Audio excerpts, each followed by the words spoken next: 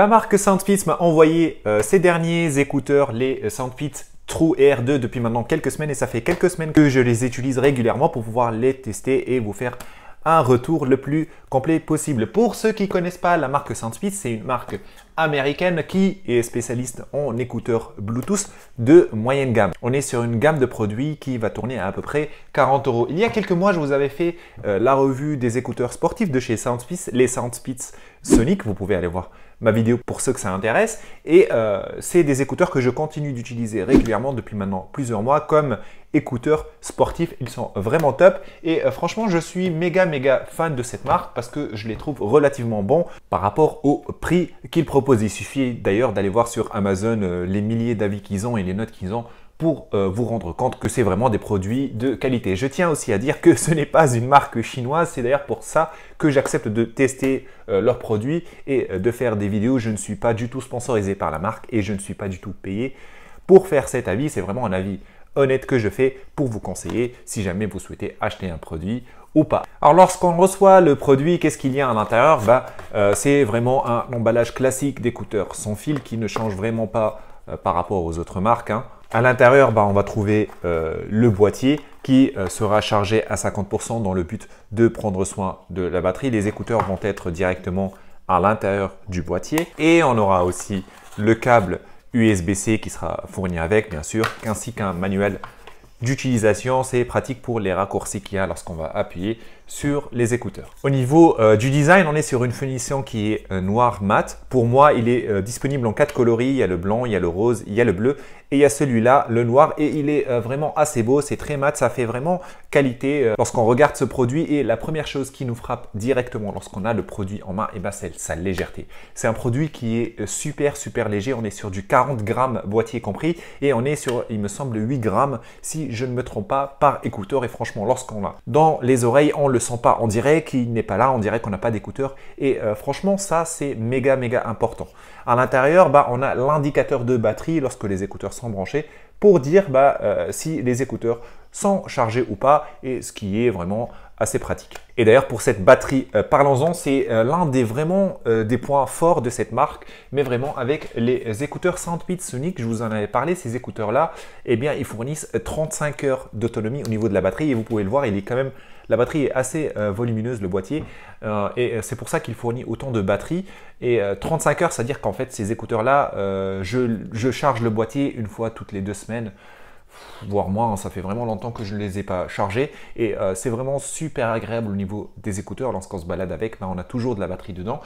Au niveau de ces écouteurs, on a 5 heures d'autonomie euh, lorsqu'on utilise les écouteurs et le boîtier va permettre de recharger 25 heures. Donc en gros, on est euh, pareil, on est sur du 25-30 heures d'autonomie totale pour ces écouteurs, c'est vraiment génial. Euh, je les utilise régulièrement, je vais vous parler plus en détail de mon utilisation et je les charge aussi une fois par semaine, il me semble. Ça fait même un petit peu plus longtemps que je ne les ai pas chargés et pourtant je les utilise vraiment beaucoup. Euh, la recharge est super rapide grâce au câble USB-C. Euh, on charge vraiment vite les écouteurs, je crois en une heure à peu près, je ne sais plus. Euh, je mets les écouteurs et hop, ils sont chargés. Il n'y a vraiment aucun souci là-dessus. Donc Pareil, au niveau de la batterie, la marque continue de marquer des points avec moi. C'est vraiment des écouteurs qui fournissent avec une très très grande autonomie de batterie et ça c'est très important. Pour mon utilisation de ces écouteurs, en fait, c'est euh, mes écouteurs de production, mes écouteurs de travail. Je les utilise lorsque je suis euh, en train de travailler euh, la journée. J'utilisais jusqu'à quelques semaines ce casque filaire Jabra qui est vraiment très bon, mais ça m'handicapait parce que voilà, j'étais déjà attaché à ce fil, donc je ne pouvais pas trop bouger en étant en télétravail. J'aime bien bouger euh, du bureau un peu, me lever, m'asseoir. Avec ce câble, c'était assez gênant et j'essaie d'avoir une configuration qui soit un peu euh, moins filaire que ça. Je voulais quelque chose de léger et donc c'est ce que je fais. Je l'utilise pour toutes mes réunions toute la journée et grâce au télétravail, j'en fais des réunions, vous pouvez me croire. Je passe au moins 3-4 heures de réunion par jour et euh, du coup, ces écouteurs-là, bah, je les mets et je les sens pas. Contrairement au casque filaire, j'ai l'impression de euh, ne rien porter dans les oreilles et je peux me balader et euh, continuer ma conférence, continuer ma réunion euh, tranquillement. Je ne mets quasiment jamais la caméra donc je peux m'éclipser. Ça fait vraiment bien le taf, confort et légèreté. Et connexion Bluetooth, bah, ça me permet vraiment de faire ça dans mon travail et ça c'est super cool. Mais par contre, point super important lorsqu'on utilise des écouteurs en télétravail, eh c'est la qualité de son. On veut avoir un son agréable parce que si on va se taper 3 heures de réunion, bah on ne veut pas de grésillement et euh, on ne veut pas de bruit, on veut entendre clairement ce qu'est en train de dire la personne parce que je pense que c'est désagréable d'être en, réunion avec quelqu'un qui va dire je n'entends rien, je comprends rien. Eh bien là, grâce au codec aptX que euh, fournit la marque, eh bien le son est vraiment très très bon. On est sur du moyen gamme, mais par contre le son est vraiment nickel. On entend très bien, que ce soit en réunion ou euh, lors de mes sessions gaming où des fois j'utilise ces écouteurs là.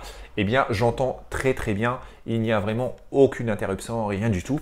Et euh, ça c'est vraiment top. D'ailleurs ils fournissent aussi un mode qui s'appelle le gaming mode que je vous avais présenté aussi dans ma vidéo sur le Soundpits Sonic que je vous invite aussi à aller voir si vous cherchez des écouteurs sportive, le gaming mode va supprimer toute latence due au réseau. En fait, il va amplifier le signal Bluetooth et du coup, on va avoir une connexion, euh, une transmission qui est quasi instantanée. On va supprimer toutes les latences. On va passer de 3 millisecondes à 1 milliseconde, il me semble.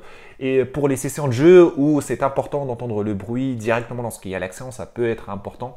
Aussi pour les montages vidéo, lorsque j'en fais, bah, je veux que le son correspond très très bien à l'image pour pouvoir faire mon montage précisément. Mais ce n'est pas vraiment important lorsqu'on est en conférence, surtout sans caméra, où on s'en fout qu'il y ait 3 millisecondes de latence, ce n'est pas ça qui va gêner. Parce que le gaming mode aussi, il faut le savoir, va consommer un petit peu plus de batterie que euh, le mode d'utilisation normal. J'utilise principalement le mode d'utilisation normal et c'est très rare que je bascule en gaming mode, mais des fois lorsque je fais des montages et que j'utilise ces écouteurs, eh bien je m'en sers et euh, c'est super sympa de l'avoir. Autre point important lorsqu'on utilise ces écouteurs pour la productivité, c'est la qualité du micro. J'étais assez critique avec les Soundpeace Sonic parce que je trouvais que le micro était passable, il était bon, mais n'était pas vraiment utilisable pour toute une journée ou pour avoir une, conversation euh, langue où on a des détails et ce genre de choses. Euh, ils ont fait beaucoup de boulot sur le euh, True R2 et on, va avoir maintenant le dual mic, c'est-à-dire qu'on va avoir deux micros par écouteur, une technologie aussi de suppression de bruit